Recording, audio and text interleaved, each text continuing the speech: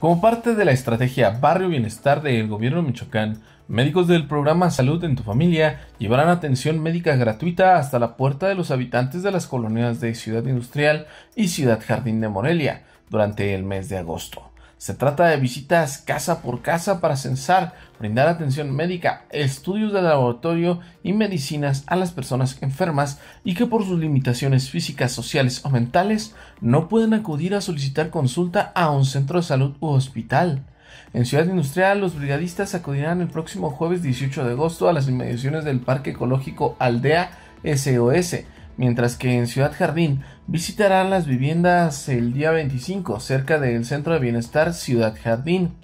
La atención es completamente gratuita y los médicos que participan dentro de las brigadas cuentan con material necesario para realizar tomas de presión, mediciones de los niveles de azúcar, oxigenación, colesterol y triglicéridos.